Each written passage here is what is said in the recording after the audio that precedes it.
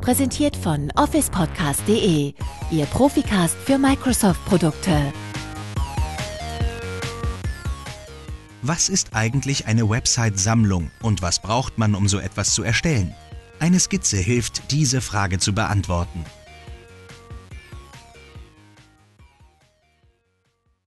Bevor wir eine Website-Sammlung erstellen, sollten wir uns das dahinterstehende Konzept vor Augen führen und bestimmen, wer die Verantwortung für die Verwaltung des Inhaltes in dieser Website-Sammlung übernehmen soll. Grundlage einer Website-Sammlung ist die Bereitstellung einer Webanwendung, die eine IIS-Site in Verbindung mit einer SQL-Server-Datenbank im Rahmen der Farm bereitstellt und außerdem für die Nutzung bestimmter Dienstanwendungen konfiguriert wurde aus der Webanwendung geht mit dem Erstellen einer Website-Sammlung eine ebensolche hervor. Eine Website-Sammlung ist jedoch nur ein konfiguratorisches Objekt, also nicht physikalisch greifbar.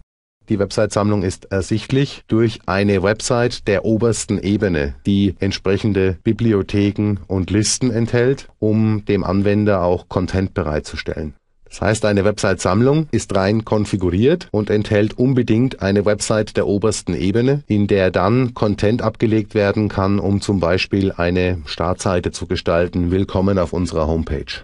Websites können innerhalb der Website-Sammlung dann nach unten und nach rechts stehend verschachtelt werden. Innerhalb der Websites können Bibliotheken und Listen abgelegt werden, um Content, Inhalt in die Website einzustellen. Klar muss uns nun sein, wer hat für welchen Bereich in dieser Struktur die Verantwortung.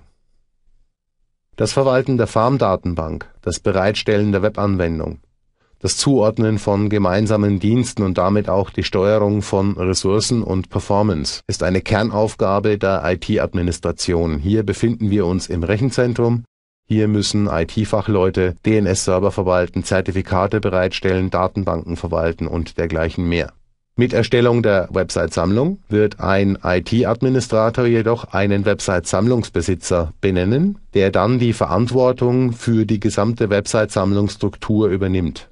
Damit hat er quasi eine Art Schrank geschaffen und die Schlüssel für diesen Aktenschrank an einen Verantwortlichen, zum Beispiel Projektleiter, übergeben und sich selbst aber auch ausgesperrt. Das heißt also, in der Regel hat der IT-Administrator auf diesen Arbeitsbereich später keinen Zugriff mehr. Es sei denn, der Zugriff würde ihm explizit vom Projektleiter gewährt. Bedeutet, der Projektleiter würde ihm eine Kopie des Schlüssels für den Aktenschrank an die Hand geben.